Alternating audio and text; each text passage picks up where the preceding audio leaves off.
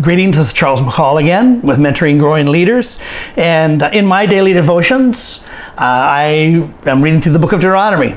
And in the book of Deuteronomy, uh, I'm just discerning, as I read, I'm just discerning leadership principles popping out all over the place. And so I'm just going to write a few of them down, share them with you. And so we're at Deuteronomy chapter 2 now. And in Deuteronomy chapter 2, I've discovered at least seven leadership principles that we should understand and we should apply as leaders in whatever sphere of leadership we're leading in. And the first one is we need to hear God's voice. You'll see Moses say over and over and over again, God said to me. It's really important to understand the difference between a good idea and a God idea. A good idea and a God idea. Because a God idea, there may be obstacles. In fact, there will be obstacles, but because you've received a word from God, it gives you strength. This is really important. Uh, when we receive a word from God, uh, it gives us passion, it gives us motivation, it gives us perseverance. Uh, we can continue pressing on when we meet with obstacles and meet with difficulties because we know that we've heard from God.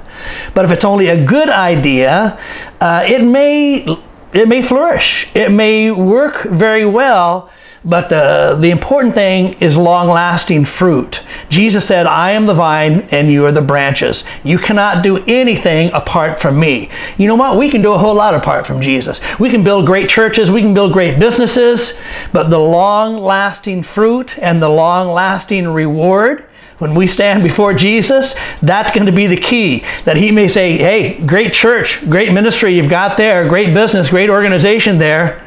I didn't tell you to do that. And so we want to receive initiation when God speaks to us. And so that just means that, that we need to be quiet. We need to find space and time to get before God to evaluate is this a good idea? Is this a God idea? And then be prepared to move forward with it. The second leadership principle that we find is there are times to get involved and there are times not to get involved. Now, God specifically said you're going to go into the land and you're going to have to be battle ready. There's going to have to be some engagement that you're involved in. But on the other hand, there are times when you should not engage. He said, for Moab and Ammon, leave them alone because I'm doing something unique through them and I don't want, it's not necessary for you to mess with it. Uh, one of the greatest pieces of advice that I've received as a leader is uh, my mentor in missionary work, uh, Eric Dooley, uh, before he left Cambodia and moved on to another country to plant a church, he said, Chuck, be careful where you draw your battle lines.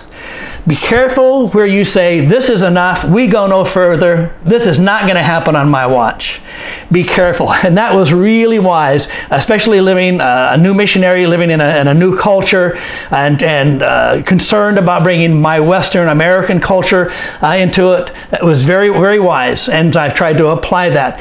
And so there are times when something is going on, and maybe you want to get involved. You want to start it, you want to stop it, you want to adjust it. But there are times when you just let it play out. You, that's, you got to seek God. You got to have wisdom and you have to seek God. When do I stop it? And when do I just let it play out? I'm a believer in natural consequences. It's my parenting philosophy. It's my leadership philosophy. Is that, you know what? My, my experience in life over all of these years is that people learn best as a result of pain. And if we step in and we cut off the pain or we try to, to do something to prevent them from experiencing the natural consequences, well, then we're really hindering what God wants to do or may want to do in their lives. And so you need to think, whatever this is, it may be a new leader, it may be a ministry. Do I step in and do I adjust it? Do I stop it? Do I do whatever?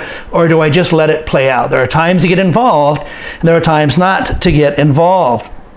And that leads us to the third leadership principle that we find here is build alliances. With these that he did not get involved with, that Moses did not go to war with, God says build an alliance, build a relationship with them so they can give you food and they can give you what you need to continue on your journey. It is really important for us not to try to do what we're doing alone. Build relationships with other churches, with organizations, with businesses. Build relationships with believers, however, not to be unequally yoked with them, but we can still build alliances with them to a certain level. And so, build alliances. You and I are not good enough to be able to do all that needs to be done by ourselves. Build alliances with your team, build alliances with people who have skills and who that you don't have and have resources that you don't have have. And so it's really, build, uh, really important for us to consider who can we build alliances with. The fourth leadership principle is expect that God wants you to have success. You know, God gave a command to Adam and Eve to be fruitful and multiply and rule and reign on earth and, and represent Him in everything they say, think, and do. God created us, mankind, to rule and reign in life, created us to have success. All throughout the Old Testament, God did not bring Israel out for them to fail. Jesus did not establish his church for us to fail. On the contrary, to have success, to have victory, to establish the kingdom of God. And so, if you're following a God idea, you need to declare faith you need to stand on faith and you need to impart faith to those that you're in alliance with, those that you work together with, and with your leaders and your volunteers. And so expect that God is going to give you success. Leadership principle number five not everyone will choose to move to the promised land with you.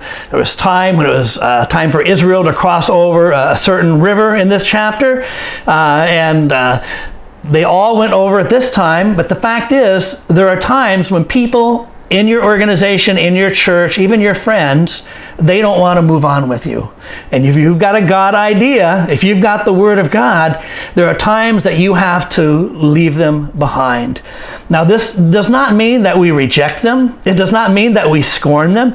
It just means that there are times and seasons, and they've walked with us for a season, but they're not walking with us through uh, the next leg of the journey. And this is really important for us. And I've, I've got a teaching I'll do sometime on video uh, that I get from Rick Warren about the, the five levels of commitment.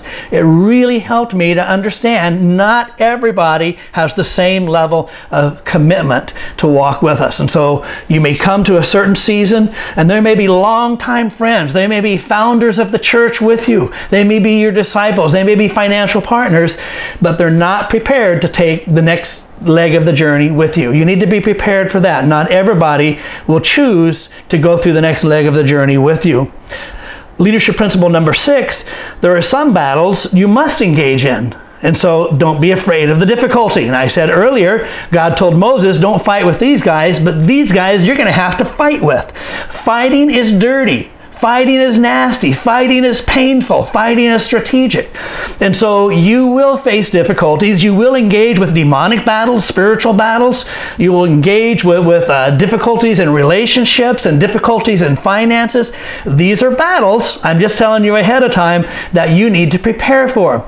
Uh, when I'm training leaders, I like to read through the passages in Second Corinthians of all of Paul's, the Apostle Paul's, tribulations and difficulties. He was the day and the night in the deep. He's been without food. He's been beaten with rods. He's been chased out of the city. And so when I'm training leaders, I try to tell them ahead of time is that this is what you can probably expect. You can expect difficulty. You can expect rejection. You can expect all kinds of problems along the way. But look, we're overcomers. We expect that we're going to win. We expect that we're going to have success. But, but don't be fooled and don't be disillusioned. But they're going to meet with difficulties. There are some battles that you must engage in. And so you need to be prepared for that. Much more I'd like to say about that. And leadership principle number seven understand the principle of utterly destroying. Now, when we read these verses that they killed every man, woman, and child, sometimes we might think, really? Why did you have to kill the babies? Why did you have to kill the, the women? Well, it's war. It was a different era than what we're living in now. But the, principle is, is if, if one of those babies can grow up and get big and make it difficult for you. And that's exactly what happened to King Saul. King Saul did not want to totally, utterly destroy the Amalekites. And at the end of his life, it was an Amalekite that finally did him in.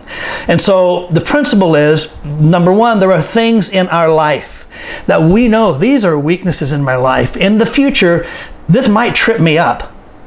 Utterly destroy it Don't let that thing live. Do whatever you need to do to kill it and bury it and get it out. And the same way for uh, for ministries or different programs that you might have. But there's a time to start and there's a time to finish it. And and you might not just want to cut back but you might just need to utterly destroy it and say, you know what? This is the end of that ministry. It served us well for a season, but now we've got to bury it and we've got to stop it. And so that's the, the principle. Uh, a little bit, again, much, much more can be said about that, but the little bit on the principle of uh, learning to utterly destroy things that are not healthy for us, not God's plan for us any longer. It might end up tripping us up in the future. So, seven leadership principles from Deuteronomy chapter 2. I recommend that you check out my YouTube, Mentoring Growing Leaders YouTube. Check out my Facebook, Mentoring Growing Leaders Facebook. Uh, check out my WordPress, uh, Mentoring Growing Leaders WordPress. Charles McCall. Enjoy this, but apply it take some time to, to think through how does this apply to your life and how does this apply to your work or your ministry. Thank you. God bless you.